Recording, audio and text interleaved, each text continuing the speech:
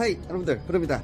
자 여러분들 오늘은 바로 신기함주의 4탄인데요. 제가 저번에 서해에서 부피를 들어서 굉장히 다양한 생물들을 찾아봤는데 서해 편만 많이 있었던 것 같아요. 그래서 이번에는 바로 통해로 가서 이 물에 붕 떠 있어서 갯벌에 한 번도 닿지 않았던 그 부표를 뜯으면 어떤 생물들이 나올지 한번 가보도록 하겠습니다. 생각보다 신기한 생물들이 의도치 않은 친구들이 나오니까 재밌게 한번 해보도록 할게요. 바로 렛츠릿 충천.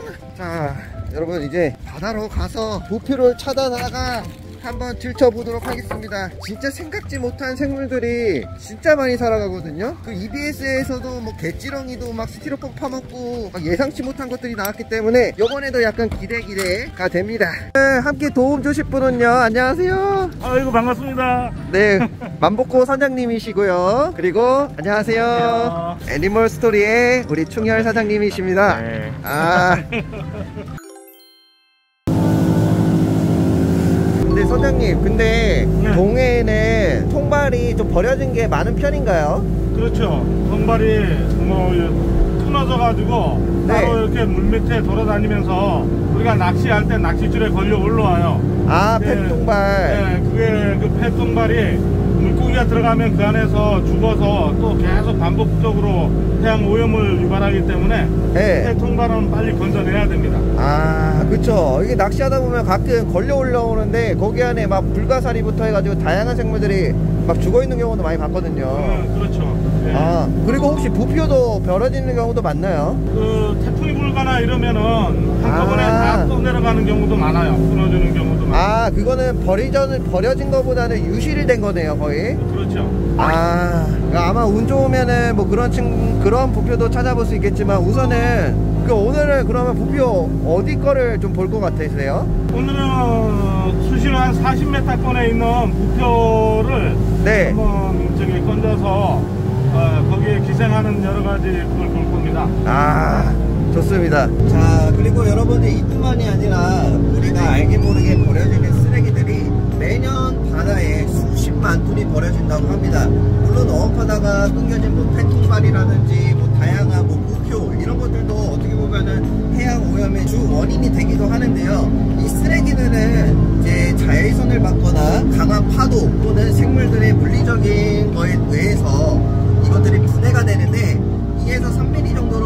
정도로 작은 미세 플라스틱이 바다에 떠다니면서 많은 생물들에게 피해를 주고 있다고 합니다. 그래서 여러분들이 바다에 가시거나 주변에 쓰레기가 보이면 줍는 습관도 굉장히 중요할 것 같습니다. 야, 도표가 진짜 많네. 야, 이런 거, 이런 거, 이런 거요. 이게 진짜 고래 묻혀 있는 것처럼 그냥 실제로 보면은 바닥에 뭔가 막 시커멓고 많이 붙어 있거든요. 아, 근데 누겨져 있지 않아서 그게 아쉽다. 아, 목표, 목표물을 설정하였습니다. 너 타겟이다. 오, 뭔가 마- 많이 붙어 있는데. 어, 이거 진짜, 이거 딱 봐도 이거는 10년 이상 됐겠다. 이게 바람만 맞고 이렇게 마모가 될 정도면은 진짜 오래된 거거든요. 와, 멀리서 봤을 땐 쬐까했는데 실제로 보니까 크네요, 되게. 무겁나요, 엄청? 무거워요. 근데 걸리네 요. 어, 나, 나, 나, 와, 엄청 무겁다. 여러분, 우선 1차에서 실패 너무 무거워요. 진짜 온 힘을 다해야 되는데. 한 천킬로 되는 것 같아요. 이번에는 타겟2입니다. 오, 요거는 뭔가 많이 붙어 있는데요. 야, 진짜 아까 부표 못 들어가지고 이번에 좀 작은 걸로 한번 해보도록 하겠습니다, 여러분. 와, 어, 들어 올릴 수 있어요? 뒤로 요거 한 번만 잡, 이거 한 번.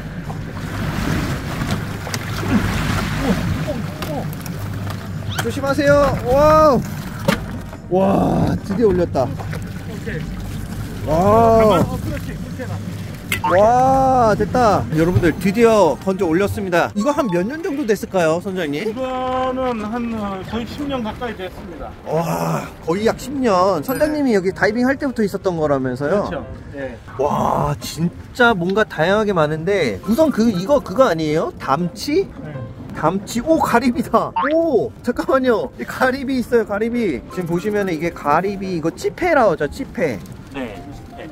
자 우선은 첫 번째로 이제 홍합인지 담치인지 모르겠지만 그런 것들이 지금 하나 나왔고 그 다음에 저 이것도 궁금하더라고요 이거 이거가 그 구독자분들이 항상 얘기하는데 이제 해면이라고 해서 뭐 그런 것도 있지만 해면 동물.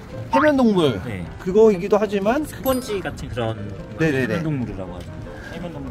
음 맞죠 맞죠. 근데 이런 거 있잖아요 이런 거. 이런 거를 이제 오 이게 뭐 특이한 거 나왔다. 꼭 자버리처럼 생겼는데. 아 이거 정확하게 그거다. 이런- 저 이거 알아요. 자 이거 두 번째로 나온 게 바다대벌레라고 해서 스켈레토 시리프 여러분 이게 굉장히 좀 징그럽게 생기고 막 이렇게 움직임이 좀 요상하지만은 이게 여러분들 새우입니다 새우. 이거를 실제로 먹을 수도 있는데 이건 좀 더러워 보이니까 먹진 않을게요. 얘네가 움직일 때 굉장히 독특하게 움직입니다. 대량으로 살아서 잘 찾아보면은 정말 많은데 오 이거 움직인다 얘는 네, 이런 식으로 움직여요. 약간 자벌레처럼 움직이기도 하네요. 이게 다 커봤자 한 2cm인가 3cm까지 밖에 안 커져가지고 좀 작은 친구입니다. 오 이게 배가 흔들려서 좀 여러분들 흔들림 이해 좀 부탁드릴게요. 그리고 또, 나, 또 여기 이거- 있네, 멍게. 오 멍게 미더덕 아니에요? 미더덕이라고 모르겠는데, 진짜. 미더덕 같기도 하고. 네, 미더덕인지 미더덕? 아 미더덕 네. 같네요 그 양 찌개 끓일 때 먹는 그런 미더덕도 나오고 있고 이게 잘 찾으면 진짜 신기한 게 많이 나와요 그리고 여러분들 지금 보시는 분들도 아시는 거 있으면은 댓글로 몇 분 몇 초에 어떤 것들이 있는지 조금 해주시면 감사하겠습니다 아 배야 움직이지 마 오, 여기도, 어, 이거 멍게다. 이건 멍게죠. 요거는 멍게도 있네요. 멍게도 있고, 근데 이거 뭐지? 오, 잠깐만, 이거 뺄, 뺄 수가 있구나. 우와, 따개비 굴. 여기에 좀 요상한 게 또 굉장히 요상하게 생긴 게 있는데 이게 여러분들이 댓글로 오 이게 개찌렁이다 개찌렁이를 발견했습니다 EBS 보면은 그 미세 플라스틱이라는 그런 다큐멘터리를 보다 보면은 실제로 이 부표가 개찌렁이가 먹, 먹고 살아갈 수 있는 그런 장소가 돼가지고 개찌렁이가 있다고 했는데 요번에도 어김없이 개찌렁이가 나왔고 지금 말하다 말하는데 이거 있잖아요 이게 제가 알기로는 뭐 성게알이라고 했나 이런 거 보신 적 있으세요 이런 거? 거야? 네. 그쵸 근데 구독자분들은 이런 거 보고 성게알인 것 같다 이렇게 얘기를 많이 해주시더라고요 한번 더 찾아볼게요 근데 이거 뭔가요, 이거? 이게 오? 이건 또 처음 보는데요? 얘도 미더덕 종류인가요? 오 이거 뭐지?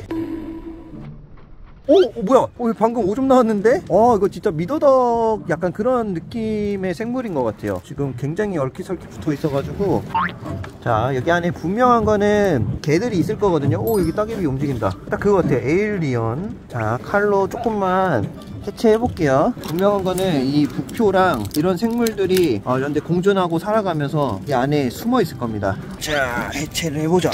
오야, 이 안에 우와, 오, 똑같네, 오, 이거 뭐야? 진짜 많다. 이 가리비 양식 하시나? 이거 여러분, 내 양식장 그 부표가 아니에요. 근데 가리비가 계속 나옵니다. 동해와 다르게 가리비가 많네요. 여기 안에 지폐들이 잔뜩 있어요. 아, 이게 파면 팔수록 뭔가 특이하게 나오네.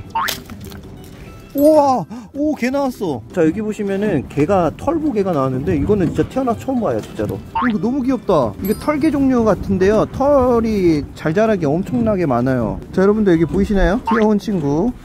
바다로 가라. 다음에 여기 이게 그거잖아요. 민물에서도 많이 나오는데 그 일명 민물에서는 민물새 아 엽새우 가재가 굉장히 좋아하는 먹이인데 바다에서도 이런 게 많네요. 바다에 많이 있습니다. 그래서 해조류라든가 이런 갉아먹고 살고요. 아. 동물성 플랑크톤의 일종이에요. 아 플랑크톤 일종이에요? 네, 암피포다라고 하는. 네. 아 그리고 여러분들 그 암피포다라고 하니까는 갑자기 생각난 게 있는데 이제 세계 심해 최대 등강류 아티노모스 기간테우스 그런 친구도 갑자기 생각나네요. 바다에는 진짜 무궁무진하게 좀 다양한 생물들이 살아갑니다. 가리비 진짜 많이 나온다. 가리비는 사실 잡아갈 수 없기 때문에 나중에 방생을 다 해줄게요. 구경하려고 지금 하는 거거든요. 개도 나오고 개찌형이 나오고 좀 신기한 게 나올까 지금 하고 있는 중입니다 여러분 아, 이 아니야? 오, 여기, 네. 여기, 여기, 왼쪽이요. 엄청 큰 거 있어요, 개치렁이. 와, 징, 치, 치, 징그러들, 아, 잘렸네. 와, 여기 개치렁이 또 있다. 와, 개치렁이가 생각외로 엄청나게 많습니다. 우와, 이걸로 바로 낚시해도 되겠는데, 얘는 되게 짜리망뚱하고 길어가지고, 가본 멜리패드 약간 그런 노래기과인 친구 같은, 판 노래기 약간 그런 느낌의 개치렁입니다. 진짜 미끼 없으면 여러분들, 부표 들어서 개치렁이 잡아서 하세요. 가라! 이거다. 야 이거 여러분들 뿔물맞이게라고 해서 해외에서는 decoration crab이라고 많이 부르거든요. 얘네들이 주변에 있는 물질들을 아니면 뭐 심지어 뭐 소라 껍데기라든지 돌멩이를 몸에 붙이거든요. 그런 식으로 붙여서 좀 의태를 해서 다른 생물들에게 숨어서 살아가는 친구들입니다. 이 친구도 나중에 제가 decoration crab 컨텐츠 한번 보여드리도록 하겠습니다. 네, 여기 붙어 있어라. 여기 보면은 아 이만한 번개는 태어나 처음 보는구만. 멍게도 나오고. 아 확실한 거는 서해랑 다르게 멍게랑 미더덕 이런 것들이 좀 많, 많습니다. 다른 생물들은 조금 비슷한 느낌이 나고요. 그리고 서해 같은 경우에는 돌이 많고 뻘을 많이 접촉하다 보니까 생각외로 개들이 굉장히 많이 붙어 있었는데 여기는 개들이 사실 올라올 수 있는 뭐 그런 상황도 아니지만 개들이 그래도 조금씩은 이렇게 날아다니다가 보이는 것 같고요. 이렇게 큰 약간 담치 이런 것도 많이 나오고 실제로 이것도 또 따- 다른 알 같은데 여기 오른쪽에 좀 초록 색깔 이런 거 보이죠 이런 것도 많아요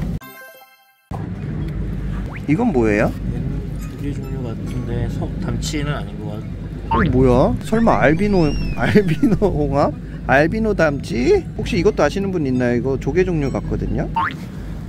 와 그거 나왔다. 이름 까먹었다. 와 이거 그거잖아요 여러분. 등강류. 와 눈이 쌀벌하다 진짜. 이거 제가 아까 말씀드렸던 바티노모스 기간테우스 한국 버전입니다 여러분. 얘가 제가 알기로는 지금 이름이 가물가물한데 한국 이름으로는 산벌레라고 했나? 산벌레라고 하지 않나요 이거? 와 진짜 이게 돌돌 말고 있네. 얘는 데려가야겠다. 여러분 얘가 생명력도 강하고 심지어 그 낚시 통발 같은 거 하시는 분들이 낚시 미끼에 걸려 올 라오기도 하고 통발에 많이 들어가 있는 그런 등강류거든요. 얘는 좀 사이즈도 크고 하니까 한번 데려가도록 하겠습니다. 자 우선은 산벌레로 추정되는 친구는 따로 옮겨놨고요. 이따가 또 보여드릴게요. 헤엄치는 게 되게 귀여워가지고. 근데 참으로 신기한 거는 이렇게 작은 부피에도 이런 생물들이 붙어서 살아가면서 환경이 만들어지면 다른 생물들이 추가적으로 살고 그 생물들이 계속 겹쳐지고 살아가면서 작은 생태계를 만들어 놓은 거가 너무 신기하지 않나요?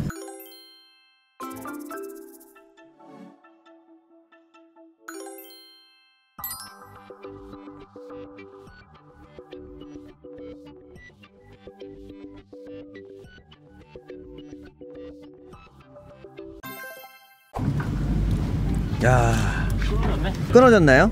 음. 와. 아, 여기 담치 양식하신 거 아니죠? 선장님 여기 보시면은 담치가 엄청 올라왔고 와 밧줄이도 엄청 많네 이제 수심에 따라서 이제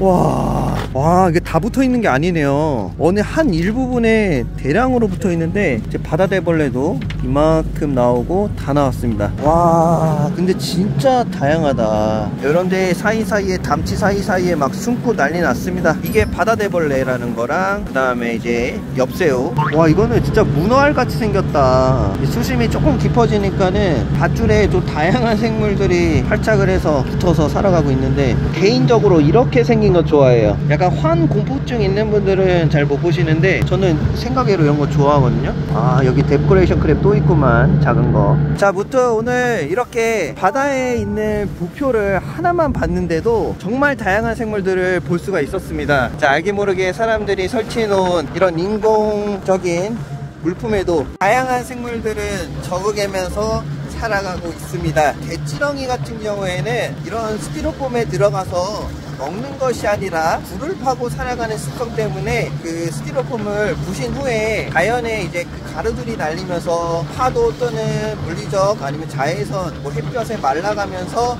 분해가 돼서 미세 플라스틱이 된다고 하는데 이런 도구들이 방금 같이 봤던 스티로- 스티로폼이 아닌 분해가 잘 안 되는 이런 재질로 많이 만들어져서 환경적으로 조금 오염이 좀 덜하고 새로운 소재들로 많이 바뀌었으면 하는 바람입니다. 서해 같은 경우에는 아직도 스티로폼이 굉장히 많은데 여기 동해는 그나마 신제품을 많이 쓰는 경향이 있는 것 같네요. 그래서 오늘 더더욱 재밌는 어, 그런 걸 본 것 같고 이거는 이제 버려야 되잖아요, 다. 나온 거 건진 거라서 네. 이제 뭐 놔- 놔두면 또 이제 뭐 배를 망가뜨릴 수도 있고 또 환경을 파괴할 수 있으니까 아. 그래서 이제 육지에서 폐기 처분해야 됩니다. 아, 들으셨죠? 이런 식으로 낡은 것들은 아마 수거해서 버리는 것도 사실 예, 밴일 하시는 분들한테 일거리면서도 좀 곤란한 그런 처리, 일 처리 문제죠. 그래도 얘네도 생명인데 지금 다 벌려가지고 다 방생을 해주고 이 폐기물만 버릴 것 같습니다. 방생, 방생, 방생, 방생.